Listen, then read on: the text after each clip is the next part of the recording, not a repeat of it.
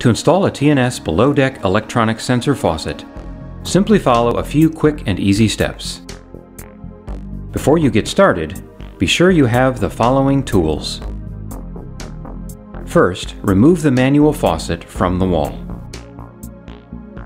Next, place the new sensor faucet on the backsplash, ensuring the mounting gasket is firmly in place and flush with the mounting surface. Align it with the mounting holes and tighten the nuts with a socket wrench. Attach the provided flex water lines to the shutoff valves.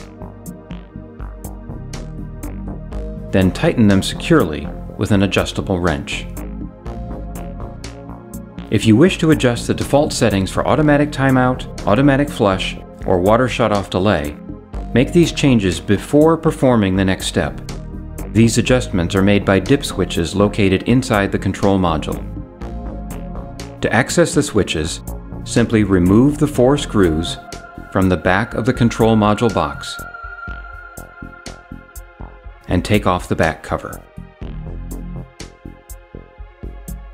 After the switches have been adjusted, replace the cover and screws and install the control module.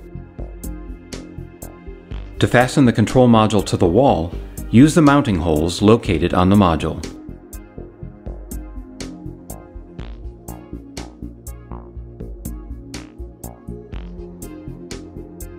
Attach the mixing valve to the inlet of the control module, then tighten the connection with an adjustable wrench.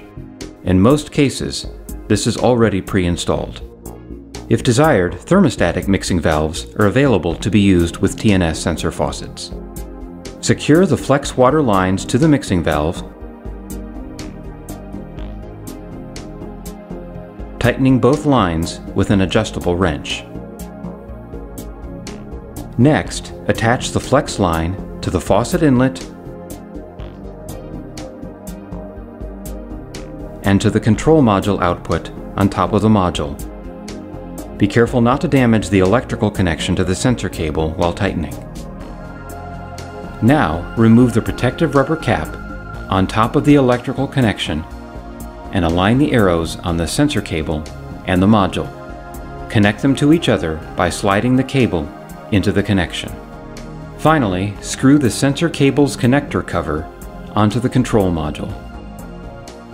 Now it's time to turn on the water and check for leaks. The most common leak areas for new installations include around the flex hose connections, mixing valve connections, and EC filter connections.